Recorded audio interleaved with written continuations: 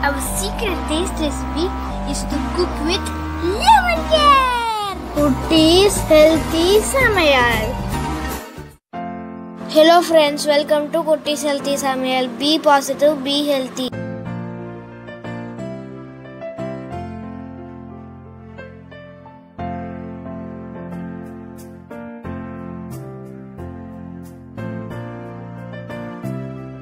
அதுக்கு முன்னாடி நம்ம சேனலை சப்ஸ்கிரைப் பண்ணாதவங்க சப்ஸ்கிரைப் பண்ணிவிட்டு பக்கத்தில் இருக்க பெல் பட்டனை கிளிக் பண்ணிக்கோங்க. ஆல் ஆப்ஷனை கிளிக் பண்ணுங்கள் அப்போ தான் நாங்கள் போடுற எல்லா வீடியோஸோட நோட்டிஃபிகேஷன்ஸ் உங்களுக்கு வரும். இது வரைக்கும் சப்ஸ்கிரைப் பண்ண எல்லாருக்கும் தேங்க்யூ ஸோ மச் நாம் இன்றைக்கி மின்ட் பெப்பர் சிக்கன் எப்படி செய்யுதுன்னு பார்க்க போகிறோம் அதாவது எப்போவுமே நாம் பெப்பர் சிக்கன் செஞ்சு சாப்பிடுவோம். ஆனால் மின்ட் வந்து அதில் சேர்க்க மாட்டோம். ஆனால் இப்போ நாம் மின்ட் போட்டு ஒரு அதாவது புதினா இலைகள் அதை சேர்த்து ஒரு பேஸ்ட் ரெடி பண்ணி பெப்பர் சிக்கன் செய்ய போகிறோம் இதோட ஃப்ளேவர் ரொம்ப நல்லாயிருக்கும் டேஸ்ட்டும் ரொம்ப அருமையாக இருக்கும். முக்கியமாக அந்த கீ ரைஸ் அப்புறம் ஃப்ரைட் ரைஸ் இதுக்கெல்லாம் இது காம்பினேஷன் ரொம்ப சூப்பராக இருக்கும். வாங்க இது எப்படி செய்யுதுன்னு பார்த்துக்கலாம். இதுக்காக நான் ஆஃப் கேஜி சிக்கன் எடுத்திருக்கேன் நல்லா க்ளீன் பண்ணி நம்ம ஜஸ்ட்டு சால்ட்டும் மஞ்சளும் மட்டும் ஆட் பண்ணி மேரினேட் பண்ணிக்கலாம். வேறு எதுவும் இதை ஆட் பண்ண வேணாம். இது நம்ம செய்ய ஆரம்பிக்கும் போது இந்த மாதிரி மேரினேட் பண்ணால் போதும். ரொம்ப மேரினேட் பண்ண அவசியம் இல்லை. இப்போது இதுக்காக ஒரு பேஸ்ட் ரெடி பண்ணிக்கலாம். இதுக்காக நான் ஒரு பத்து சின்ன வெங்காயம் அதாவது சாம்பார் வெங்காயம் நல்லா க்ளீன் பண்ணி எடுத்து வச்சுருக்கேன். அதோட ஒரு பச்சை மிளகாய். இது ஒரு ஃப்ளேவருக்காக தான் நான் எடுத்து வச்சுருக்கேன். அப்புறம் ஒரு கைப்பிடி அளவு புதினா ஆஃப் கைப்பிடி அளவு கொத்தமல்லி. இதான் நம்ம எடுத்துக்க போகிற பேஸ்ட் இது நல்லா அரைச்சி எடுத்துக்கலாம் பாருங்கள் நல்லா ஃபைன் பேஸ்ட்டாக அரைச்சி எடுத்தாச்சு. அவ்வளோதான் நம்மளோட இந்த மின்ட் ஃப்ளேவர் பேஸ்ட் ரெடி ஆகிடுச்சு இதுக்காக ஒரு கடாய் வச்சு அது தேவையான அளவு எண்ணெய் ஆட் பண்ணிக்கலாம். எண்ணெய் சூடான பிறகு நம்ம கட் பண்ணி எடுத்து வச்சுருக்க வெங்காயம். அதோடு ஆட் பண்ணிக்கலாம். ஆட் பண்ணி நல்லா வதக்கி விட்டுக்கணும். இது நல்லா வதங்கி வரணும். அதுக்காக தேவையான அளவு சால்ட் ஆட் பண்ணிக்கலாம். ஆட் பண்ணி நல்லா வதங்கட்டும். அதுக்குள்ளே நாம் ஒரு மசாலா பவுடர் ரெடி பண்ணிக்கலாம். இதுக்காக ஒரு பேனில் ஒரு ஸ்பூன் சீரகம் ஒரு ஸ்பூன் சோம்பு ரெண்டு ஸ்பூன் மிளகு. அதாவது மிளகு வந்து உங்கள் காரத்துக்கு ஏற்றாப்புல ஆட் பண்ணிக்கோங்க. இன்னும் கூட தேவைன்னா இன்னும் நீங்கள் ஒரு ஸ்பூன் ஆட் பண்ணிக்க நல்லா காரமாக சாப்பிடுவீங்கன்னா. மசாலா வந்து ஒரே ஒரு கிராம்பு கொஞ்சம் பட்டைத்துண்டு ஒரே ஒரு ஏலக்காய். அவ்வளோதான் நானும் மசாலா கம்மியாக தான் ஆட் பண்ணுறேன் நீங்கள் இன்னும் ஸ்பைஸியாக சாப்பிட்றீங்கன்னா இன்னும் கொஞ்சம் கூட ஆட் பண்ணிக்கோங்க. இதை நம்ம கொஞ்சமாக ரோஸ்ட் பண்ணி எடுத்துக்கலாம். ஆக்சுவலாக அந்த பேனோட ஹீட்லேயே நல்லா ரோஸ்ட் ஆகிடும். போதும். ரொம்ப கருகக்கூடாது. அவ்வளோதான் இப்போ இதை ஆறட்டும். இப்போ நம்மளோட வெங்காயம் வதங்கிடுச்சான்னு பார்க்கலாம். ஓகே நல்லா வதங்கி வந்துடுச்சு. அதோட கருவேப்பிலும் கொத்தமல்லியும் ஆட் பண்ணி கொஞ்சம் வதக்கி விட்டுக்கலாம். இப்போ கொஞ்சமாக வதங்கின பிறகு நாம் கட் பண்ணி எடுத்து வச்சுருக்க தக்காளி அதோட ஆட் பண்ணி நல்லா வதக்கி விட்டுக்கலாம். இது நல்லா மேஷ் ஆகி வரணும். அது வரைக்கும் நல்லா வதங்கட்டும்.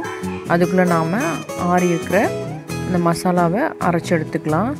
ஓகே இதை மிக்சியில் ஆட் பண்ணி பவுடரை அரைச்சி எடுத்துக்க வேண்டியது. அவ்வளோதான் பாருங்கள் நம்மளோட மசாலா பவுடர் ரெடி ஆகிடுச்சு அடுத்ததாக நம்மளோட தக்காளி நல்லா வதங்கி வந்திருக்கு. இந்த ஸ்டேஜில் ஒரு ஸ்பூன் இஞ்சி பூண்டு பேஸ்ட் ஆட் பண்ணி பச்சை வாசனை போகிற வரைக்கும் நல்லா வதக்கி விட்டுக்கலாம். இது நல்லா மேஷ் ஆகி வரணும் ஒன்றோட ஒன்று கலந்து.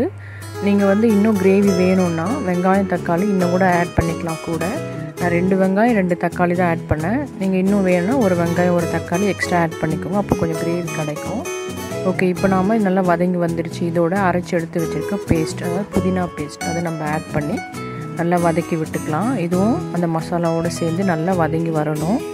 நல்லா மேஷ் ஆகி ஒன்றா கலந்து வரணும். இங்கே பாருங்கள் நல்லா இந்த மாதிரி வதங்கி வந்துடுச்சு இப்போ இந்த பேஸ்ட்டும் அதோட நல்லா கலந்து வந்த பிறகு நம்ம மேரினேட் பண்ணி எடுத்து வச்சுருக்க சிக்கனை அதோட ஆட் பண்ணிக்கலாம். ஆட் பண்ணி அந்த மசாலாவோடு சேர்த்து நல்லா மிக்ஸ் பண்ணி விட்டுக்கலாம்.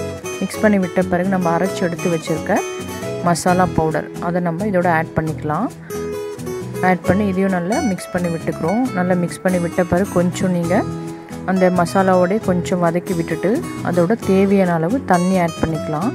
நான் இன்றைக்கி ஒன்றரை டம்ளர் தண்ணி தான் ஆட் பண்ணுறேன் அதாவது இது வந்து சிக்கன் வேக வச்சு எடுத்த தண்ணி தான். அதாவது இன்றைக்கி நாங்கள் சிக்கன் ஃப்ரைட் ரைஸ் பண்ணோம்.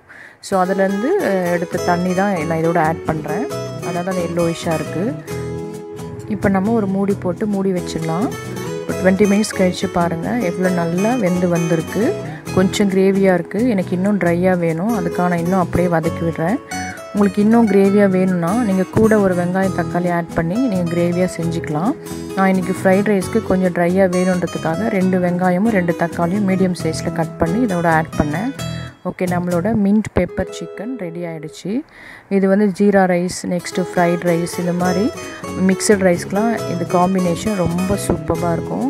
இன்றைக்கி எங்களோட மெனு சிக்கன் ஃப்ரைட் ரைஸ் தான். அதுக்காக தான் நாங்கள் இந்த மின்ட் பெப்பர் சிக்கன் செஞ்சோம்.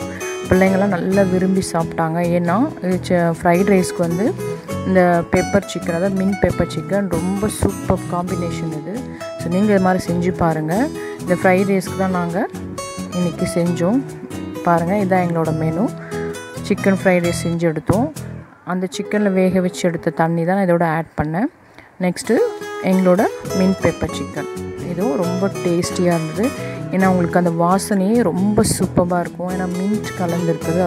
எல்லாருக்குமே தெரியும் மின்ட் வந்து கொஞ்சமாக எடுத்தாலும் ரொம்ப வாசனை சூப்பராக இருக்கும். இதை நம்ம அந்த பேஸ்ட்டு அரைச்சி ஆட் பண்ணுறோம் அதனால் ரொம்ப நல்லா வந்து மின்ட் பெப்பர் சிக்கன் ஸோ நீங்களும் அதை செஞ்சு பார்த்துட்டு அந்த டேஸ்ட்டு அந்த எக்ஸ்பீரியன்ஸ் எங்களுக்கு கமெண்ட் பண்ணுங்கள் தேங்க்யூ ம் எம்மி டேஸ்டி நீங்களும் ட்ரை பண்ணுங்க. என்ஜாய் பண்ணுங்க. ஹெல்த்தியா இருங்க. தேங்க்யூ மற்ற ரெசிபீஸோட லிங்க்ஸ் எல்லாம் டிஸ்கிரிப்ஷன் பாக்ஸில் இருக்குது உங்களுக்கு இந்த வீடியோ பிடிச்சிருந்ததுன்னா லைக் பண்ணுங்கள் ஷேர் பண்ணுங்கள் கமெண்ட் பண்ணுங்கள் சப்ஸ்கிரைப் பண்ணுங்கள் பக்கத்தில் இருக்க பெல் பட்டனையும் கிளிக் பண்ணுங்கள் பாய்